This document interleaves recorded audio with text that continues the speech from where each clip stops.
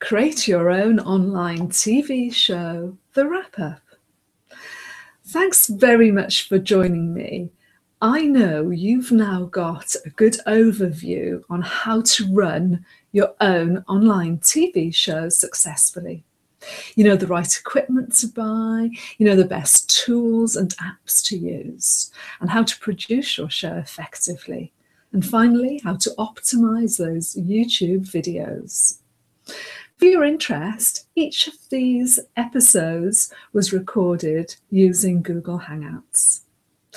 Thanks ever so much again for joining me, but do stay tuned because I've got some extra bonus videos that will share with you some of the top things that I like to do when running my own Hangout shows.